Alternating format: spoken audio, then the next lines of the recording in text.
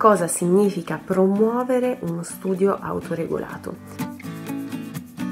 significa aiutare gli studenti a rendersi sempre più autonomi nella gestione del proprio studio ed essere in grado di assumersi responsabilità nella scelta di come costruire il proprio apprendimento e di come esprimerlo.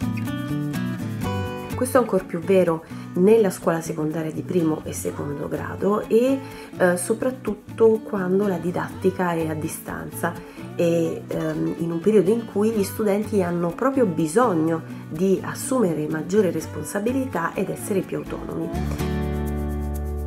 Il webinar ci aiuterà a scoprire strategie, soprattutto metacognitive per la gestione dello studio, ehm, strategie di pianificazione, monitoraggio e verifica e nello stesso tempo eh, andremo a scoprire alcune modalità per promuovere una costruzione della conoscenza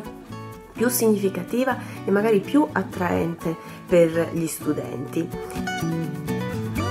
In ultima analisi andremo a cogliere quali modalità eh, differenziate possiamo proporre agli studenti per esprimere la loro conoscenza.